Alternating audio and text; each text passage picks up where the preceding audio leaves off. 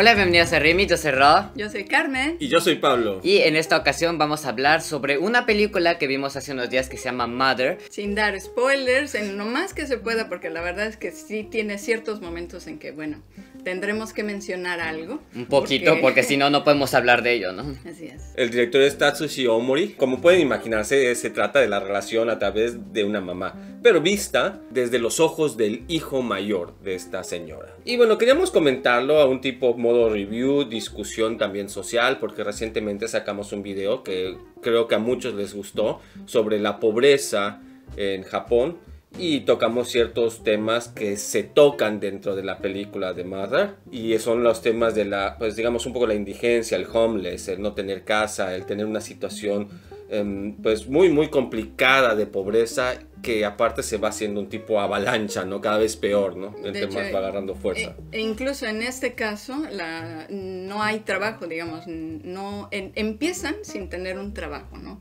Eventualmente sí, pero la situación es muy dura al inicio. ¿no? Y también una cosa que queríamos comentarles es de que esta película la tienen que ver como una serie de eventos desafortunados todos juntos en una sola película, digamos. ¿no? O, sea, lo, peor que te puede llegar a suceder como indigente o una, sociedad, una situación eh, negativa en una pequeña familia, digamos, en un pequeño núcleo familiar, todas las historias, digamos, hasta incluso terroríficas que escuchan, que ven en las noticias, puestas en una sola casa, ¿no? Un poquito como hace, no sé si conocen la película que era Manbe Kikazoku. Se agarraron todos los casos de, de robos, de bolseos, de maltrato familiar, etc. Y los pusieron en un pequeño grupo de personas y los pusieron todos juntos en una casa. Un poco así, ¿no? O sea, no es algo que sucede en la gran mayoría de las casas, ni es algo muy expandido, sino todos los, los peores síntomas. Así es, y ni siquiera esa intensidad, ¿no? De igual modo, creo que el, script de la película está bien hecho. O sea, obviamente el, el, escritor, que es el director, tenía que exagerar las cosas para que se entienda también, porque es una película y tiene que ser dramática, para tener el interés de la gente, ¿no? No puedes decir, ah, mira, es una película que trata de absolutamente nada y parece un video familiar, ¿no? Y eventualmente la gente va a abandonar la sala del cine. Entonces no es una crítica al, resultado artístico. Al inicio, cuando la terminé de ver, sentí un poco de frustración por las situaciones que vamos a comentar, pero no podía ser de otro modo, ya cuando lo analizas hacia atrás. Para que puedas entender hay que exagerar, ¿no? Así es, es una película que realmente, como dicen, te mantiene en, en ver qué va a pasar, ¿no? Hasta el final.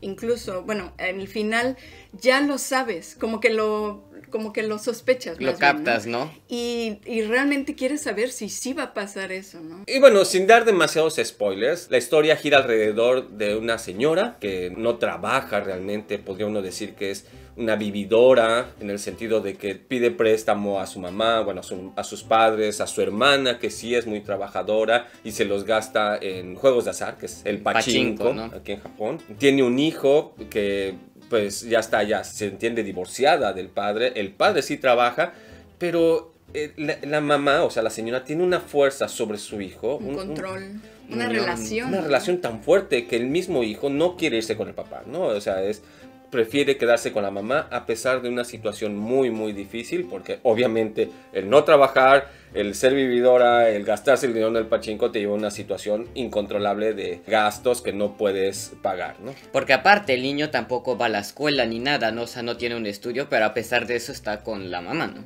Y es una relación, digamos, cercana, pero también un poco tóxica, ¿no? En este caso, la mamá se aprovecha de que está el hijo para ir con sus papás, o sea, los abuelos del hijo, a pedirles dinero, ¿no? O sea, como usándolo para que tengan paciencia y tengan compasión de ella y también de su hijo. ¿no? Y así por toda la película va usando al hijo para ir que el dinero al, papá, a su hermana, a los papás, a, su, a los abuelos y así, usando al niño porque él pues se conmueve, es un niño y quieres ayudarlo, ¿no? Pero llega al punto de que pues explotan todos, obviamente, ¿no? Toda la película empieza con el niño siendo de primaria. La película prácticamente es observa, la observación del niño, o sea, cómo lo va viviendo el niño.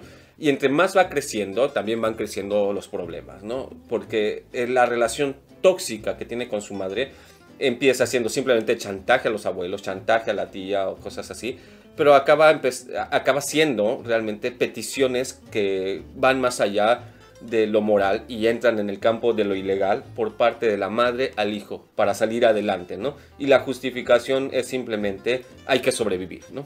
Así es, y le repite mucho, soy tu madre, te quiero, ¿no? Y entonces el niño pues se siente eh, obligado en muchos sentidos a, hacer lo que su mamá le pide.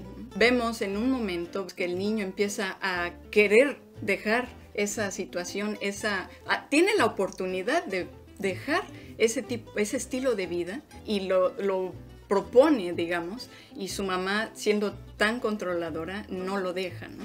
Y él mismo se convence, ¿no? Estamos acostumbrados, por fortuna, a una situación que sí es bastante frecuente, que es la situación donde la familia es un apoyo, el núcleo familiar es la fuerza, es el sustento, es la comprensión, es incluso la ayuda económica en momentos de dificultad o la ayuda en la salud, etc. Y eso es el núcleo de la sociedad y todos estamos hasta cierto punto de acuerdo. Quien más, quien menos, a diferente cantidad. Hay quien dice, tengo problema con mis familiares, pero es mi situación, no es la generalidad. Ok, ¿no?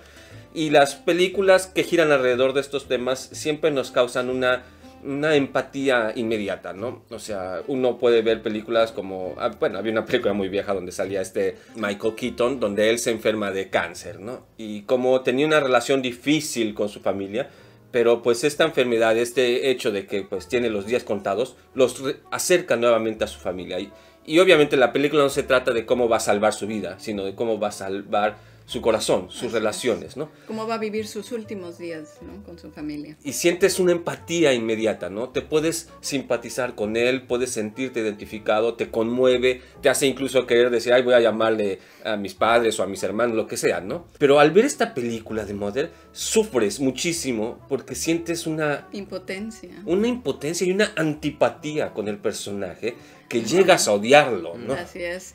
Y una frustración también para con el niño de por qué no reaccionas, por qué no te revelas, ¿no? Ese... Sabiendo que no es bueno, obviamente no es bueno, ¿no?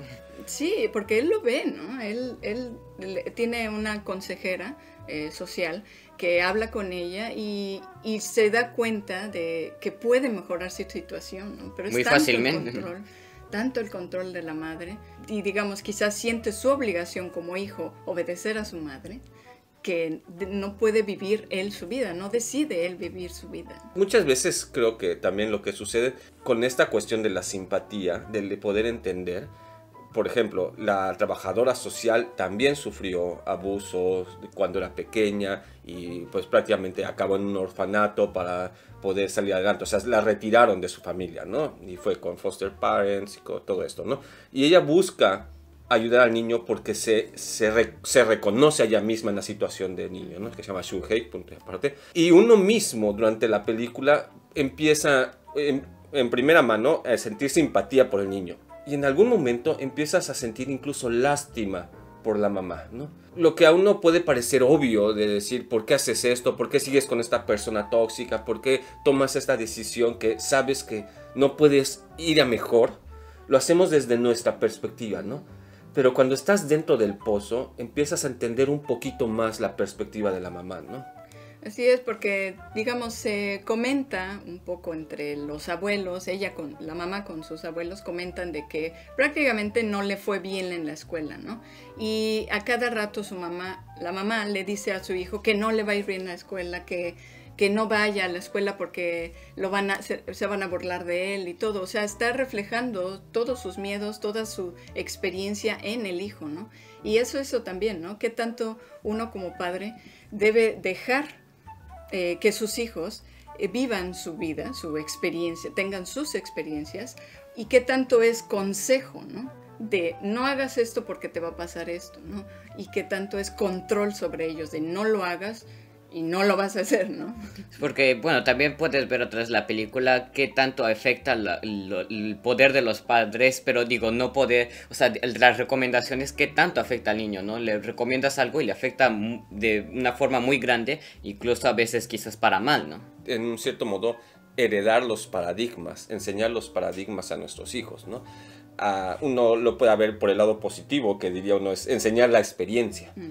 Pero hasta qué punto estamos enseñando a veces la experiencia a nuestros hijos, hasta qué punto nuestra buena intención a nuestro punto de vista se puede convertir en algo bastante tóxico, ¿no? La película La mamá, este, que es Akiko, se llama el personaje, no es una mamá cariñosa con el hijo, ni comprensiva, ni que está interesada. O sea, empieza incluso la película con la mamá dejando al hijo por seis días abandonado en la casa, mientras ella se va prácticamente de juerga a otra ciudad y lo deja sin comida, sin luz, sin, gas, sin gas, sin agua. O sea, es un abuso totalmente que también expone otro punto, ¿no? Hasta qué punto uno puede ayudar en una situación como esta legalmente y hasta qué punto tienes que esperar hasta que se convierta en una tragedia como ocurre en la película, ¿no? Así es que digamos que el crimen ya se haya cometido para que uno pueda actuar, que, es, es, frustrante muchas veces, ¿no?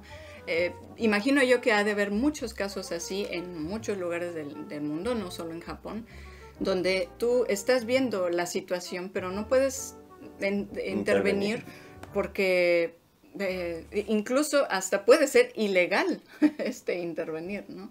Puedes tú estar cometiendo un crimen, ¿no? En favor, por querer ayudar al niño, a los niños, estás tú eh, pasándote de la línea, Y de hecho, al final de la película termina de que pues hace un crimen muy grande el hijo y a pesar de eso sigue pues es un amor muy fuerte a la mamá que sigue cubriéndola diciendo de que ella no le dijo nada, ¿no? Entonces, pues ya la, ley no puede decir nada, no puede obligarte a que decir que sí lo hizo, ¿no? Entonces ya no pueden ayudarte de ninguna forma, ¿no? La defiende hasta el final como, como, si, como si nada, ¿no? Es impresionante. Y la concepción de la madre, incluso hasta el final de la película, de ver a sus hijos, porque bueno, después tiene una hija también, como si fueran una extensión de ella, un objeto que le pertenece, ¿no? O sea, yo, yo los...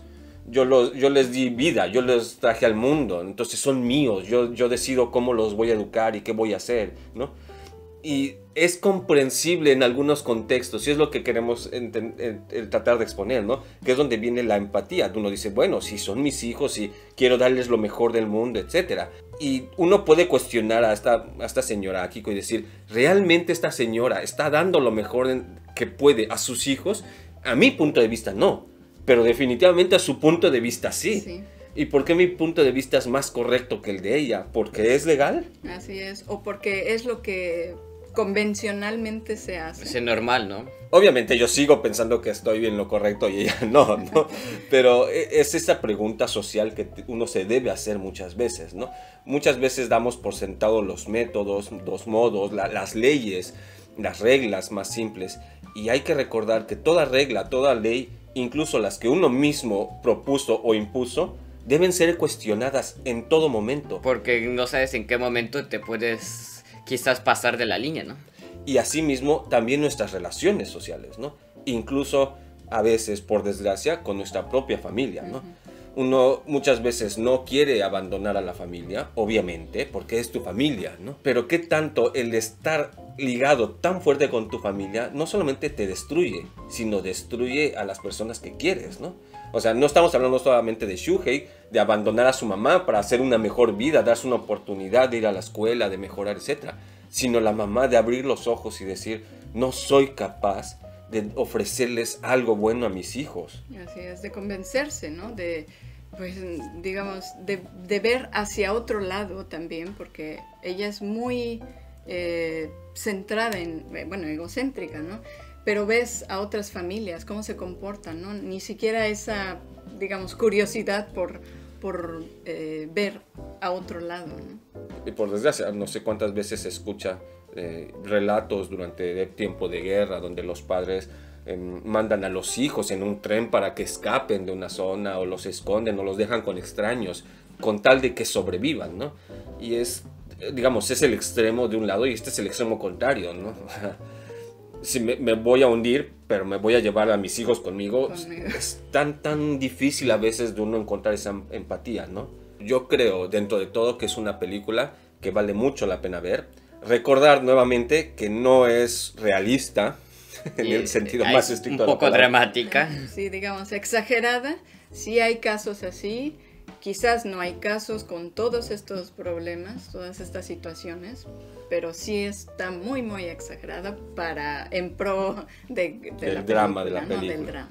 Incluso puede ser que exista en la vida real casos peores, pero estamos hablando que es, eh, es el mínimo de lo, que es, de lo que realmente sucede en nuestro día a día, pero que nos obliga a pensar en todos los tonos de gris que van antes de ese negro, ¿no? Entonces, yo lo recomendaría muchísimo. Y bueno, si quieren ver otra película que no tiene mucho que ver con madres ni hijos, pero que sí tiene que ver con algo muy social, un problema social, les recomendamos este video, donde hablamos sobre esta película que se llama If No Jikan. ¿Y ustedes se han encontrado en una situación donde tienen una relación tóxica que lograron superar? ¿O conocen a alguien que está en ese proceso? Cuéntanos en los comentarios. Y si quieres seguir descubriendo Japón con nosotros, te recomendamos estos videos que aparecen aquí y que le des like a este video. Y suscribirte al canal y compartir este video a tus familiares y a tus amigos. Pero sin más, nos vemos hasta la próxima. Bye bye. Bye bye.